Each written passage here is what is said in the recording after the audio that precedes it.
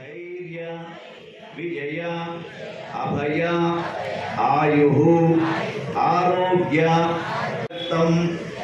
धर्म, अर्थ, काम, मोक्ष, चतुर्विध, मम कुटुंबस्य आरोग्य वृद्ध्यर्थं मम, सन्तानस्य, अखण्ड నటరాజ భక్తమండల వినాయక మంటప స్థలేషు శ్రీ మహాలక్ష్మి పూజ అంగత్వేన ప్రథమత కలశ గణపతి గౌరీ ఆరాధనంచ అహం కరిష్యే ఇది సంకల్ప ఆ అక్షితలను చక్కగా ఆ గ్లాసులో నీటితోటి చేతితోటి వదిలిపెట్టి. మరి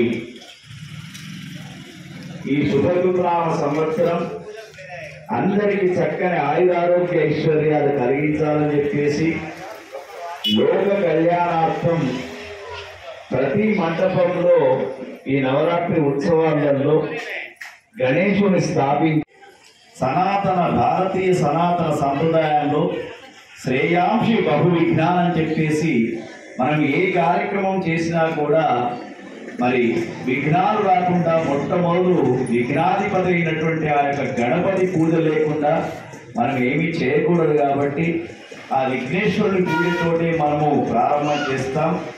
మరి మన జగిత్యాల పట్టణంలో వాడవాడలో వీధి వీధిలో ఎన్నో స్వరూపాలతోటి మనకు వినాయక స్వాములు కనిపిస్తూ ఉన్నారు. మరి ఇక్కడ ఉన్నటువంటి నటరాజ భక్త మండలి ఆ వినాయక స్వామి చక్కని రూపాన్ని మనం ఇంతకుముందే చెప్పుకున్నాం. అభయాస్త్రాన్ని ధరించాడు. చేతిలో లడ్డూను పట్టుకున్నాడు. అభయాస్త్రం ఏమిటంటే ఆ స్వామి చెప్తూ ఉన్నాడట అరే భయపడకండి. రెండు సంవత్సరాలు మీరు ప్రకృతిని పాడు చేశారు కాబట్టి మీకు కరోనా అనే ఒక వ్యాధి వచ్చింది. కానీ ఇప్పుడు ఆ వ్యాధి పారిపోయింది భయపడే అవసరం లేదు. ఇప్పుడు వినాయక స్వామి యొక్క అభయాస్తం మనకు చెప్తూ ఉంది. మరి ఇప్పుడిప్పుడే మనం ఏం చేశాం? కేవలం సంకల్పం చేసుకున్నాం. పూజ చేసుకుంటున్నారు కాబట్టి సంకల్పాన్ని ఏమంటాం? Application letter. ఆ విఘ్న నాయకుడు గణాధిపతి అయినటువంటి ఆయనకు చెప్పాం. ఇంతకుముందే చెప్పాను కదా చాటల్ లాంటి చెవులు. మనం చెప్పిన విషయం మన ఆయన విన్నాడా విన్నవించుకోండి. ఎందుకంటే ఎందుకంటే మరొకరికి ఇంకో రకమైన బాధలు ఉంటాయి కాబట్టి ఆ గణనాథునికి మనం లక్ష్మీ అనుగ్రహం ఎప్పుడు కలుగుతూ ఉంటుంది. ఇంతకుముందు చెప్పుకున్నాం కదా సుహాసిని అంటే ఐ వాళ్ళ ఇంట్లో లక్ష్మి ఉంటుంది. మరి మేము కుంకుమ పెట్టుకోము కదా అయ్య గారు. మరి మేము టికెట్ పెట్టుకుంటాం కదా ముంగీసలు తావేళ్ళు కప్పలు జరులు ఇటువంటి ఆకారంలో మనం ఎందుకంటే ఇక్కడ ఇడా పింగళ అనే రెండు నాడీలు ఉంటాయి.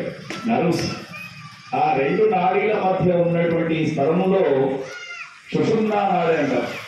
అక్కడ ఎదుటి వ్యక్తి చూసిన తర్వాత మనకు దృష్టి దోషం కలగద్దు. దాన్నే నర దృష్టి అంటున్నారు. ఆ దృష్టి దోషం వాడి కంటూ ఆ కుటుంబం వైపే పడతాయి. అంటే ఆ దృష్టి పోతుంది. కాబట్టి ఇక్కడి నుంచి అయినా మన పిల్లలకు మనం నేర్చుకోవాలి. సంప్రదాయాన్ని నేర్చుకోవాలి. ఇంకో పెట్టుకునే ఆచారం మనం చేయాలి. ఇంకో విషయం ఏంటి? ఇప్పుడు పిల్లలు. ఎందుకు? ఒక చేతికి ఒక గడియారం ఇంకో దానికి ఒకటే ఒక గాజు ఉంటే ఉంటుంది లేకుంటుంది కానీ ఎవరికి పసుపు పచ్చలో ఉన్నటువంటి ఆకుపచ్చలో ఉన్నటువంటి గాజులు ధరిస్తే ఆ రంగు గాజు ధరిస్తే లక్ష్మీమాత నిలకడగా ఉంటుంది. అదేవిధంగా ఎక్కడైతే మనము లక్ష్మీమాత అనుగ్రహం పొందాలంటే ముఖ్యంగా ఇంట్లో ఉన్న మనకు సీరియల్ కూడా అవే చూపిస్తున్నాయి. అంతకుముందు సీరియళ్ళలో ఎవరో ఒక మగవాడు విలన్ ఉంటుండే. ఇప్పుడు మగవాడు విలన్స్ లేరు. అంతా ఆడవాళ్ళు అత్తకు కోడలు కోడలకు అత్త. ఈ సీరియల్ నేను గుర్తపడి వస్తున్నాయి కొన్ని సీరియల్ ఇప్పుడు ఇంకా నడుస్తున్నాయి ఆ సీరియల్. కాబట్టి సీరియల్ ప్రభావంతో కాకుండా మూడు వ్యవస్థ లేదు. కాబట్టి లక్ష్మీ అనుగ్రహం కలగాలంటే సంధ్యా దీపం ఒకటి తప్పకుండా పెట్టుకోవాలి. కానీ పదకొండు అయితే పదకొండు దీపాలు. ముట్టించడం ఉప్పని కుదరడం అంతే కదా? భారతదేశం అంటే ఏమిటో తెలుసా? భా అంటే వెలుగు. వెలుగునిచ్చే దేశం మనం. మరియు